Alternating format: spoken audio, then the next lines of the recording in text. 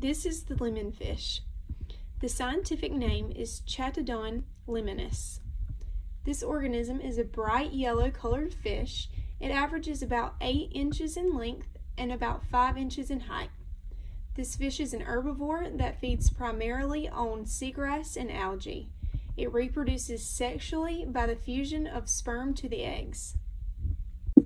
The lemon fish lives in the coral reefs of Hawaii. It has a mutualistic relationship with the sea sponge shown here.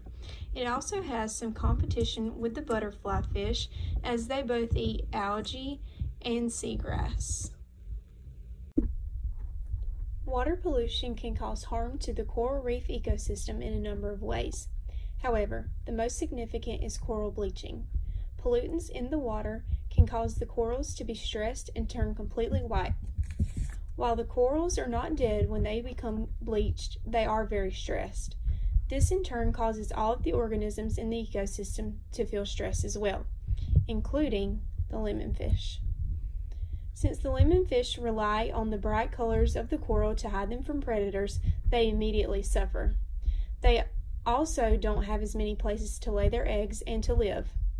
The algae and seagrass that they eat is in short supply, these changes in the coral reef ecosystem due to water pollution will result in a dramatic drop in the population of lemon fish.